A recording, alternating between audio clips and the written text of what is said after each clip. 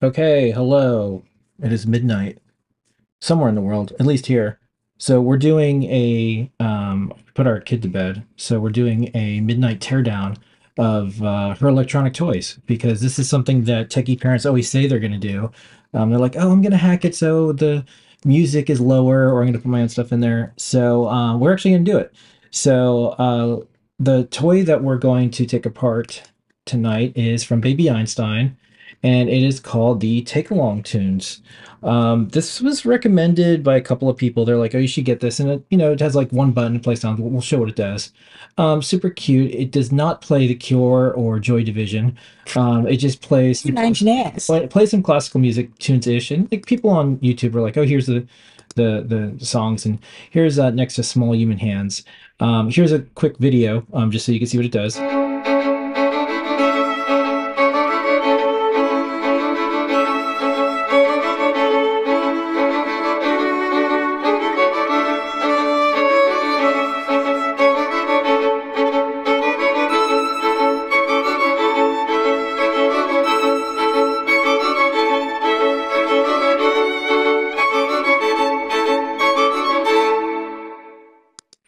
Okay. So what I don't quite understand now that I'm a connoisseur uh, or a collector of some of these toys is why isn't there like like Guitar Hero has you know Slash some of and they have songs from musicians. Why isn't Yeah. there like you know baby toys with Oh, like you think there should be like the Johnny Cash version? I would like a Prince one. okay. Um and Ooh, like yeah, purple and stuff like that. So um I think we're just gonna have to make them. Mhm. and that's fine. So this is the first step of many. Um, we have a little kicky piano.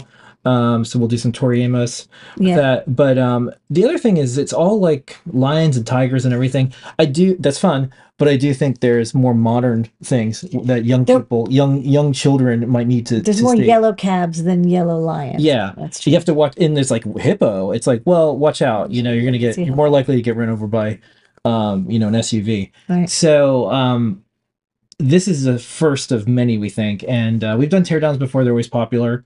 Um, this is the setup we're going with now. Each week when we do these, or each day, I don't know what else we're going to do at midnight when the kids asleep. Um, we're going to get more powerful optics, and we're just going to see how far we can push it. This one's pretty easy. Lady is going to dive right in. We used to do teardowns all the time at Adafruit. We yeah. stopped for a little bit, but we may we'll get back into it. Yeah, and I think that um, we'll be able to uncover some neat stuff. One of the coolest things about electronic toys is you can tell it is the absolute lowest cost way to go. So you can learn a lot about the design. But, but and there's one thing. I don't mean low cost in a bad way. No, it's not bad. But no, look, you want to make it affordable so people can Yeah. can have it for their kids. Uh, and if they break it, it's not the I end think of it the was world. like six bucks or something. But what's neat is, um, you know, the enclosures are really durable because they're meant to be like Yeah. kid proof, and so and they always have little battery cases that are like nice screwed closed. Um, so they actually make for excellent Yeah. hackable enclosures Oh. compared to like like look you you get an iPad or you get like a modern cell phone like you can't yeah. change Well, you're not. Yeah, and and uh, there's a lot of space in here. We'll see the for the folks that are going to ask, so the one of the ideas is we take the electronics out of these things. We put in our own reference board that shows up as a Wi-Fi device. You drag and drop your own um, music on it, and then you can do your own light show, and you can update it over Or Wi-Fi. maybe there's SD card. and it's all but it's still the same enclosure it's still you know baby safe um, and so you just use that enclosure but we want to reproduce the functionality so this is just the start of this so let's uh, dive right in we've got um, the device we're going to do a little Okay. bit of a ki- cooking show thing so let's do the before Well, this is yes, this is the thing. Says little sounds, and then um, this actually does. This has LEDs behind it. We'll show you, and this has you know it's like an iPod esque, but it's really just a button. When you press it, so it's not actually four but different button no, it's not four buttons, and there's the it's not speaker, Simon says either and then this is the battery case. that's all it does you just press the button and it goes to a different song One thing that I do say I like is that um, the baby Einstein stuff uses screws, and they're all like really easy to open. None of it is glued closed. yeah my iphone doesn't have screws Yeah, so well it does but That's kind of nice. Okay, so this is the outer enclosure. So by the magic of I undid the four screws earlier today. yeah this is what it comes out to be. yeah Um, So- there's this plastic piece. i'll leave it on this and then tell me when you want to go to the close Yeah, when we're getting close. So this is the plastic piece. And so here's another interesting thing. Um, yeah, like I said, there's a lot of screws. You'll see a lot of like little hex spots here, um, and almost no glue. And I think that's actually because it makes it it is much faster to manufacture if you don't have to wait for the glue to cure. Um, so I think they actually went with gluing and snap fitting as much as possible. And this is that little um, button piece. But again, it, it's one button. It's not four buttons, even though it looks like it's four. It's it's Yeah. or five.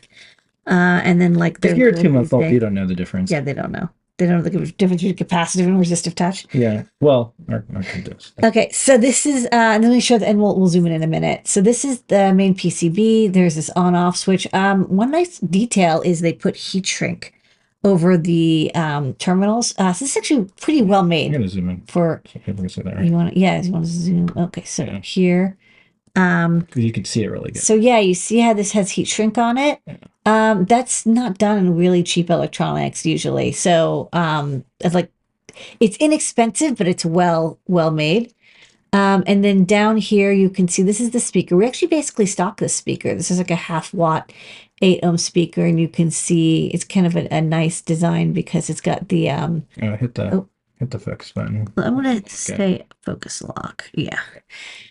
We did that lock or? Yeah. Hold on. We're still learning. There you go. Okay. So now it's locked. Okay. So I can twist this. Um, so you can see, I'll, I'll show later where these go. And then here's that, uh, like I said, a lot of things are screwed and these are the little, um, hex nut holding plastic pieces. Um, so this is the button. Like I said, there's only one button. And so it's a, you know, it's a magnetic, uh, not a magnetic, it's like a little conductive pill under a rubber gasket. And this is not glued. I believe this is just press fit in using a little this I didn't take apart ahead of time. So let's see. Yeah, this is just a little um, silicone piece, and you see there's a little conductive pill, uh, and this is just uh, traced on, traced on. It's nice Enig coated, which is uh, fancy. That's it. There's not a lot So of is yeah. yeah, it's a gold coat, so it'll last a Yeah. while. Um, so that's really nice. They could have gone with just a plain uh, uh, lead-free HASL cover, but they didn't. They did. They did Enig, and it, it is RoHS here, as you can see. Um, the speaker connection, another nice little detail. See how they put the uh, solder mask here? Just gives it a little bit more separation and a little more protection for the That's a good for the idea. traces, so they don't lift Uh, because this is a single-sided board. It's a paper phenolic, which is not unreasonable, right? Yeah. There's no reason for it to be double-sided. Uh, it's just funny because it means like this, these power traces go all the way around. yeah. Um, but the person who designed this, like they did a really good job. Like everything's labeled very nicely, nice large pieces. Um, this is the red, green, and blue LED. You know, when you press the button, uh, it does that. There's little slots. I'll, I'll ask questions. I'm sure people Yeah. can ask. So why wouldn't you just use like one NeoPixel like thing? It is just cheaper. I mean, Yeah. a NeoPixel, even the cheapest of all the NeoPixels is maybe four cents in quantity. This is a tenth or, you know, or less of a cent. These LEDs are So you can't. incredibly cheap. So you can't do as much with as far as controlling like fading or maybe stuff like that. But you can still. You, Yeah, these can like fade on off, but it's like, you know, you just get one LED. Like Yeah, personally, if I was going to redo this PCB, I'd add like six NeoPixels because like I'm, I'm luxury NeoPixel. Another thing is, you know, this is obviously an epoxy blob. That's not unusual. Um, inside of here is, is a little, I don't know if you would call it a microcontroller, you know, it, it's some kind of processor. Um, I believe, you know, I've chatted with people, it's probably like a four, eight bit audio controller that's you know, when you press the button, it has a little bit of ROM memory and it makes those, those tunes and they're programmed into a ROM chip. Um, you can't just change the, you, there's no like access to reprogram the software. and why do they put a? I mean, you know, I know the answer to this, but this is for for folks who are just getting interested. in this. Well, why, yeah. why would you put a blob of epoxy on here? Um, it's cheaper to just take the chip and just mount it directly to the PCB, and you bond it onto the PCB, and then you put a glob of epoxy.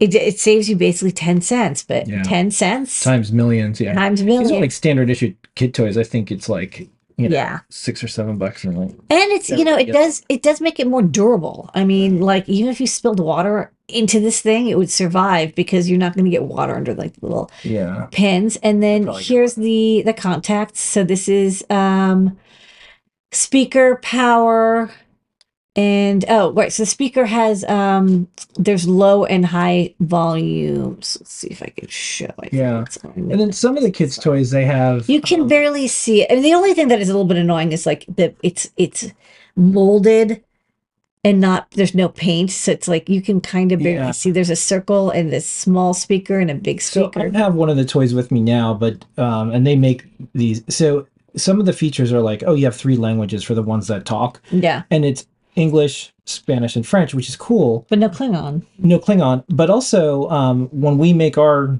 hacked versions, you'll be able to put whatever language you want because you're putting all the files on. So Yeah. basically, it unlocks um, the capability of a of a kit toy. It's always going to be updatable. Yeah. Uh, maybe the, you know maybe you want to learn three different uh, one of the languages besides those. Maybe there are other languages. Yeah. All right. So what else is on this thing? Portuguese. Um, so and then another thing is that the battery connector. So you know these these all run on AA batteries, which is smart because AA batteries can get rechargeables, Mm. um, and they're very they're plentiful. They're available everywhere. You know they don't have built-in battery charging. It's a lot safer. You know whenever we did um, kids projects or wearables, I always tried you know to go with Yeah. AA or AAA Sometimes batteries. people are like, oh, you should use lipos. It's like, well, you are not going to do lipo charging on clothing, and we have to keep saying it over and over. Yeah. Um, but I think folks are kind of cool about it now. They're like, Yeah. oh, because I'm doing costumes, and like now I understand the the logic and wisdom and safety behind that. Yeah, so this this is soldered on, and you can see it solders directly to the PCB. Also smart design. So you know, one of the things that we're gonna have to do is, um, you know, we might have to have a boost converter just because this chip is designed to run on two volts. But some of our electronics is, you know, especially the NeoPixels. Actually, I'm kind of surprised the green LED.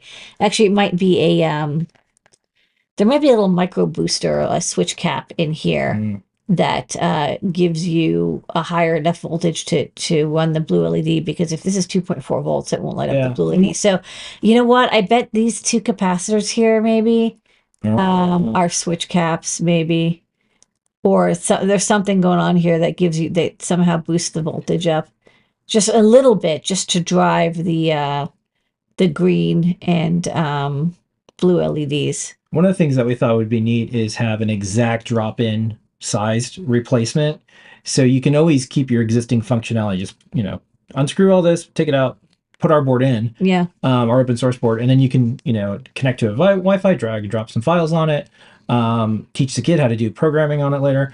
Um, what, so we'll see. It looks like that might be possible where we'll be able Yeah. to measure this. And, you will have to like you know desolder and resolder Yeah. some of these connections, but you know that could be like a fun hacking thing. And there's people who've like hacked toys before. yeah, Um, MIDI jack out the side. and- Yeah, absolutely. you know, and that's another thing. It's like you know, it's it's a great yeah, case, do a, right? do a circuit bending right. Like I wouldn't add. I can't add more buttons. Like people are like, can you Yeah. make this thing? Well, not really because like I'm kind of stuck with the case design. The as other thing is. is, you know, no, not a dig at all. The cute little, cute little person, but I want to paint this to make it a skull. yeah, And so, you know, there's a lot of things I want to do to this.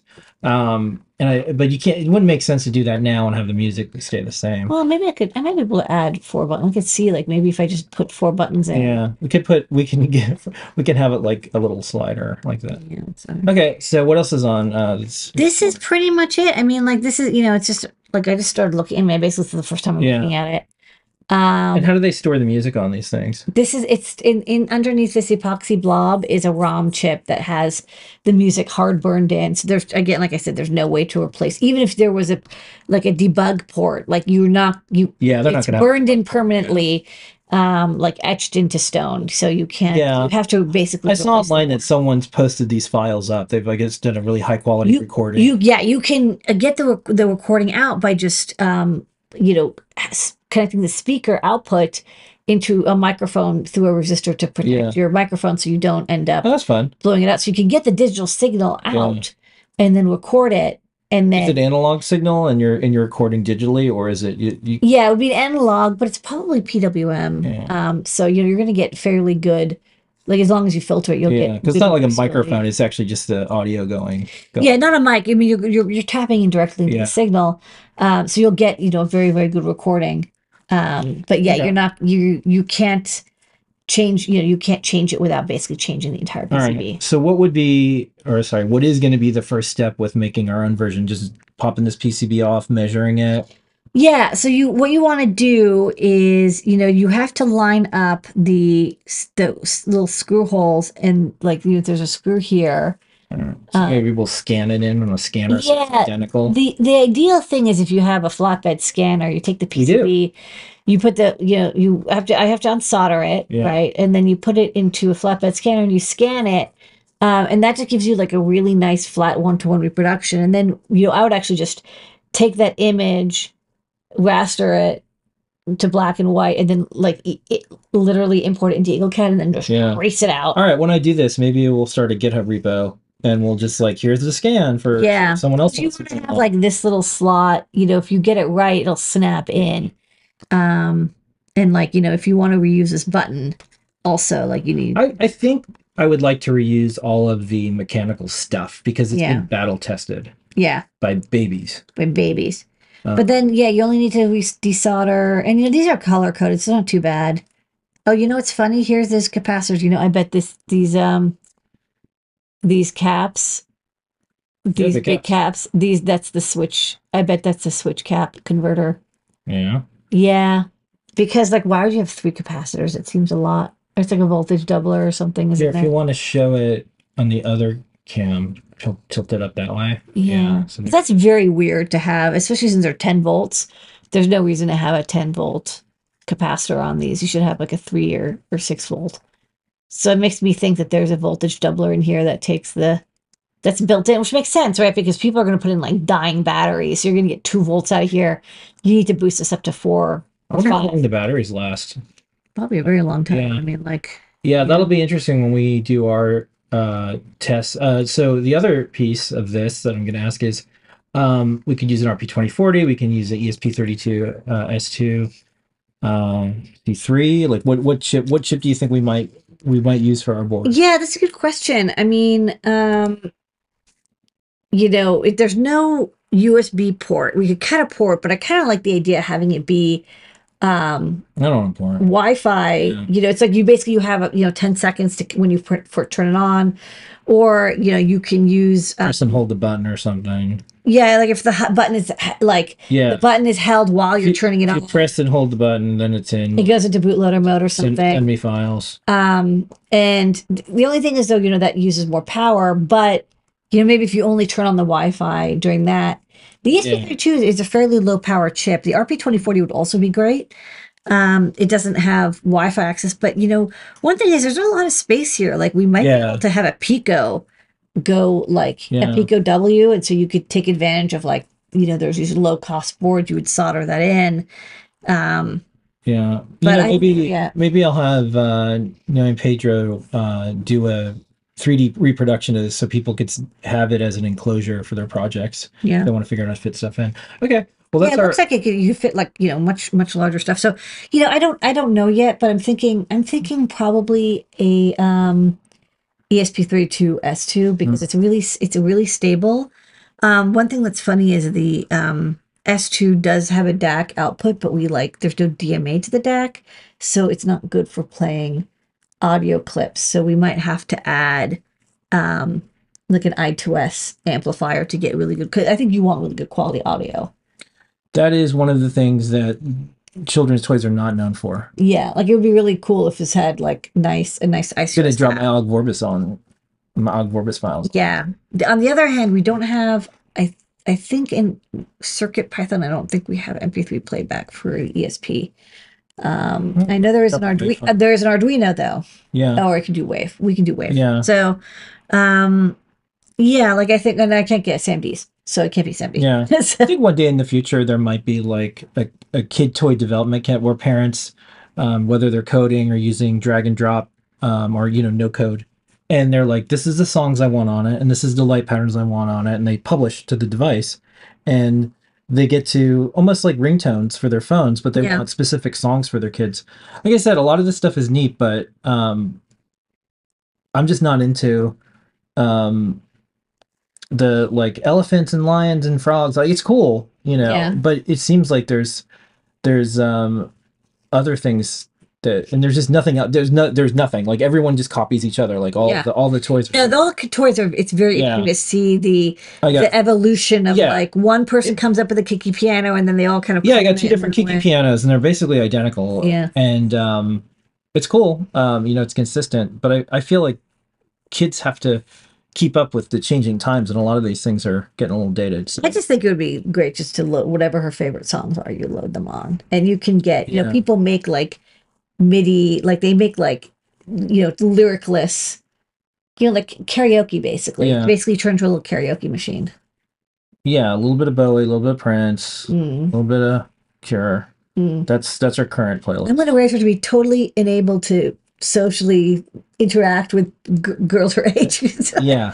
it's like she's she's like, I'm only, only listening to 80s music. Um, Okay, well, let's Okay. tear down. So we'll be back with more of these um, and uh, more optic equipment because I think we're going to be able to do this late at night. yeah, we're, we're, I think we did a good job here. Yeah, just good. All right. Thanks, everybody. All right, Good thank night. you.